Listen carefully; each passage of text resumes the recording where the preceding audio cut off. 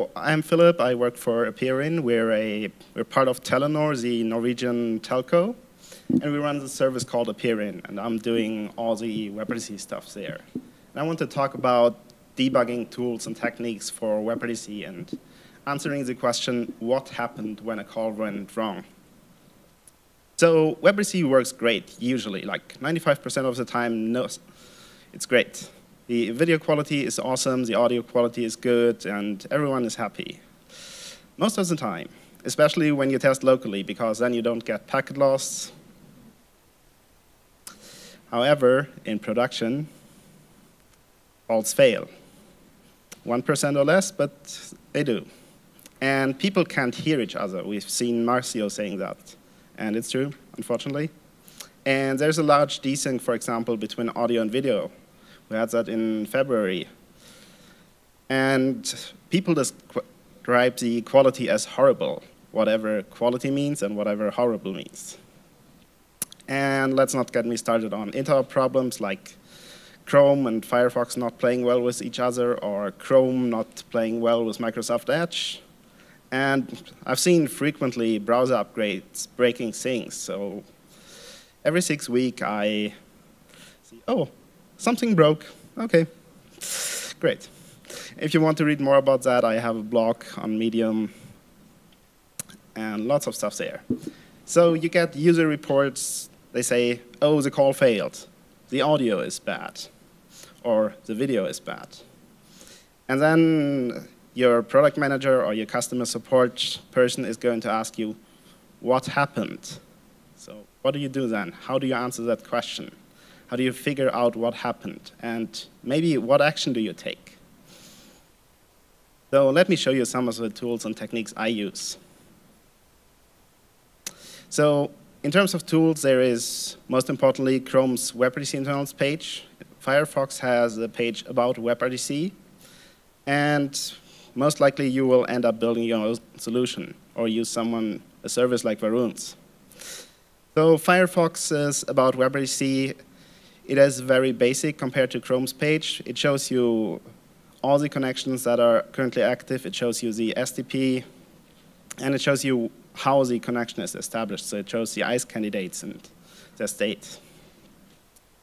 Chrome's WebRTC internals page is one of the tools I use most often. It shows you API traces and statistics for all calls, for all peer connections. And at the top, you can see over here you get all the connections, you get all the get user media requests, you get all the connections, and for each connection you get the configuration. And you get those API traces on the left side. They basically tell you all the peer connection calls that happen. And on the right side and at the bottom, you get the statistics, which are sent to the WebRTC internals page every second. And the API traces are really useful to figure out what happened in the call, like when was an offer created, did you get any set local description failure calls, and all that. And for example, you would call add stream on the peer connection, and it would show, oh, a stream was added, it had this label, it had this audio track, and it had this video track. So that might be important if you for example, expect this to happen with an audio and a video track, and you only get an audio track here. For example, then the user might not have a camera. And you can see how the SDP offer is created with what options. Like here we are looking at something where we call it with offer to receive video and offer to receive audio. So we want to receive audio and video. And we can also see the set local description call, which shows you the whole SDP. It's a big blob of text. If you want to know more about that, there's a great WebRTC hacks post on that. And you can also see all the on-ice candidate and add-ice candidate events, which show you how the network behaves, what the IP addresses are that are used to connect. You can see the ICE connection state and how it changes from checking to connected then completed, and that allows you to understand the network behavior of your application. You also get the statistics on the right, and your application can get the same information that is displayed there with the GetStats API. It shows you things like whether this is the active connection that is used currently. It shows you the IP addresses. However, this shows a Google local address. Don't use any stats prefixed with GOOG. They might change any time without notice. And it shows you the remote IP address as well. And for example, it shows you number of bytes received, number of bytes sent, and number of packets sent. And you can measure how the application is behaving on the network. And at the bottom, you get a lot of statistics graph, which basically poll gets stats every second, and you extract the metric from that, like byte sent, and you make a timeline graph, which has the time on the x-axis and the value on the y-axis. And for example, here you can see the number of bytes sent per second and the number of packets sent per second. It's all nice and stable, 1.6 megabits per second and about 200 packets sent per second. There's no big variation here, so it's flowing nicely. That was a local host connection, so no packet loss. And you can also see, uh, for example, the GOOG, GOOG encode usage percent, which is a measure for the encoder CPU usage. And if your users were reporting that their fans were spinning, that is a graph to look at. And another example is here, for example, the frame rate input from the camera and the frame rate sent on the network. That should usually be the same unless you have bandwidth adaptation because your bandwidth was not, was not sufficient or the CPU was not, if, not sufficient to send that frame over the network. So basically there are three steps when debugging something using WebRTC internals. The first step is to get a dump. Second is reading it, and the third is importing it somehow. And I'm going to walk you through that process. So first you navigate to the Chrome Web WebRTC internals page, and then you expand, you click on this create dump, and that gives you a number of options. The first, or the, the second and third are quite important when you need to file a bug. They get you dumps that the Google developers will ask for because it allows them to understand the behavior of Chrome much better than what we can get from JavaScript. And what is more important for you is this button, download the peer connection updates and stats data, which gives you a big JSON file usually. And you can interpret that yourself, whereas even I don't interpret the other two usually.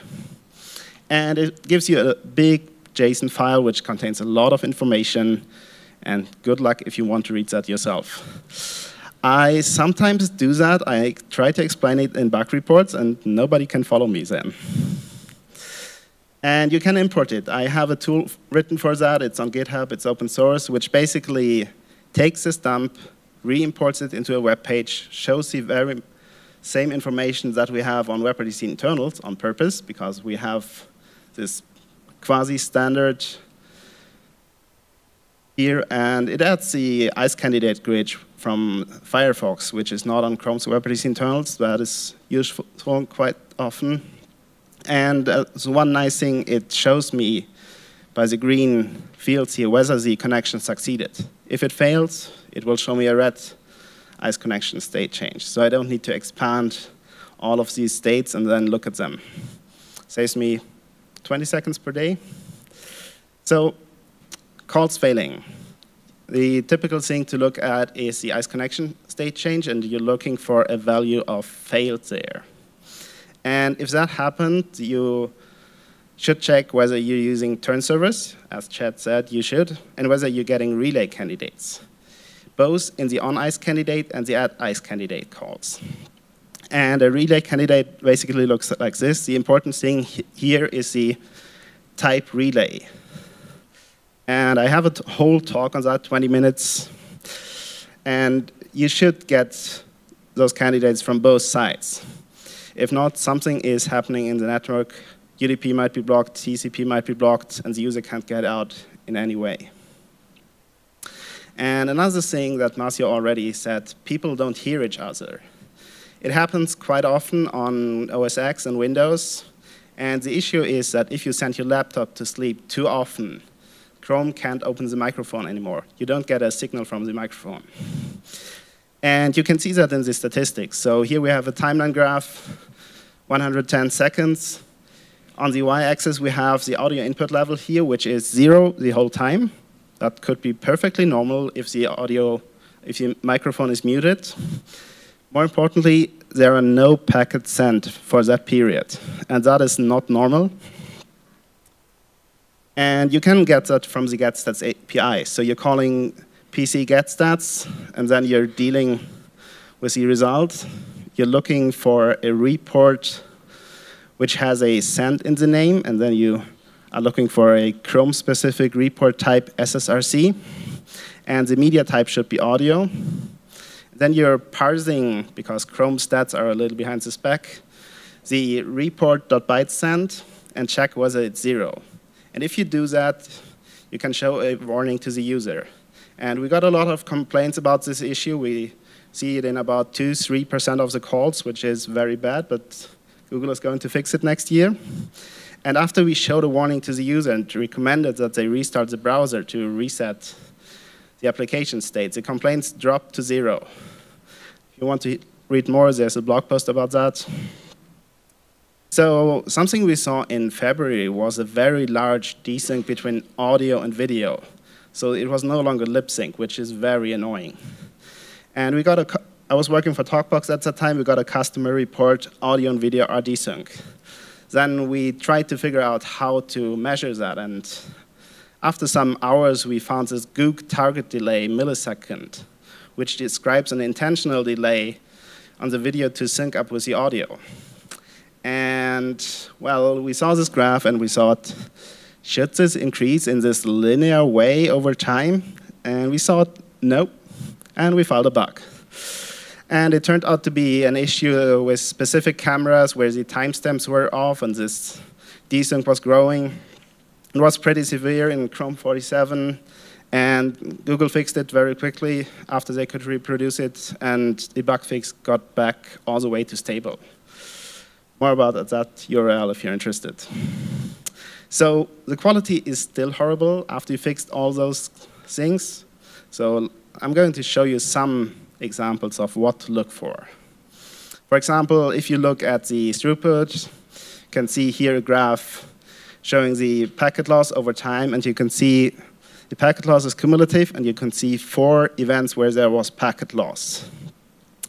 And typically, in those cases, the bandwidth adaptation will reduce frame rate and resolution, and the user perceives that as blocky and bad video quality. You could also have the packets lost being continuous, like in the blue line, and it happens as well. It is different kind of packet loss, but you need to deal with both. And if you look at, for example, the jitter, which you see here, same graph for the same call, we can see huge spikes in the jitter. Typically, if the jitter is basically smooth and you have little variation, low variance, it's good, but those spikes are really bad. That was about two, three seconds in that case. And round trip time, Varun talked about it. If it's smooth, it's good. If there are spikes like this, it's bad. And that was two to three seconds, and that was really bad. And 100 to 400 milliseconds are acceptable depending on where your calls happen on the globe. So another thing to look at is usually the resolution and the frames per second. So we can see here that there was an issue in the call. The blue line shows the frame rate over time, and at this point it drops and stays low for one and a half minutes. And at the same time, the number of frames sent went down. So during that period, basically there was not enough bandwidth to send the frames over the network. And in reaction to that, Chrome first dropped the number of frames per second, started dropping frames to reduce the bandwidth, and then reduce the resolution. And yeah. What you can also see in that case is that the CPU usage drops a lot when the resolution goes down because the encoder has less frames to process and less bytes to process. Another thing to look at is the bandwidth estimate. So in WebRTC, the bandwidth between the two peers is continuously estimated, and you want to know how much bandwidth is available. And we, what we can see here is that the all started good, and then went to a bandwidth of about 600K, and then suddenly there's a drop here to 40K. And it starts ramping up to 600 again, stays there for a second, and then drops down. Ramps up again, drops, ramps up, drops, ramps up, is stable for a while, and then drops again, and ramps up.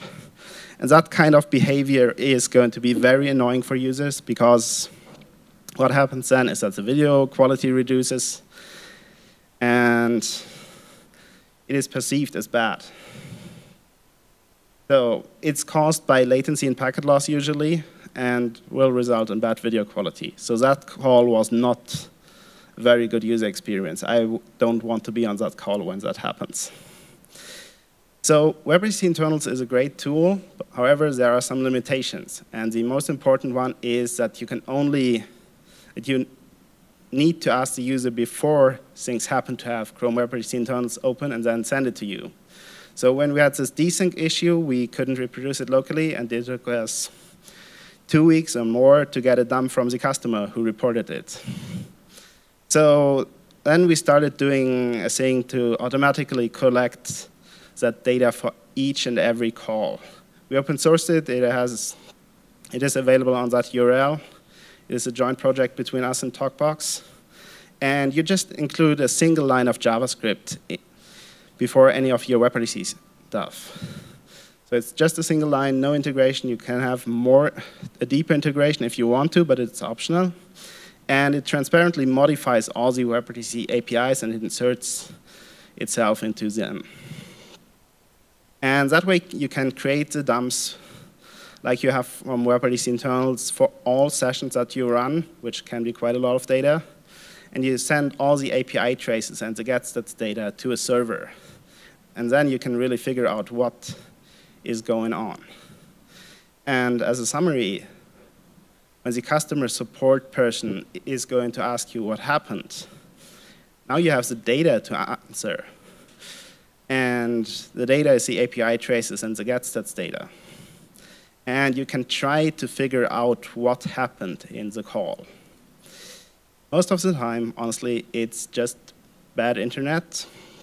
There's not much you can do, but there are some cases where you're doing something wrong, like not running turn servers, and you can figure that out. And if you spend that time, your users will in the end be happier and use your service more. And your service will grow, hopefully. And with that, thank you.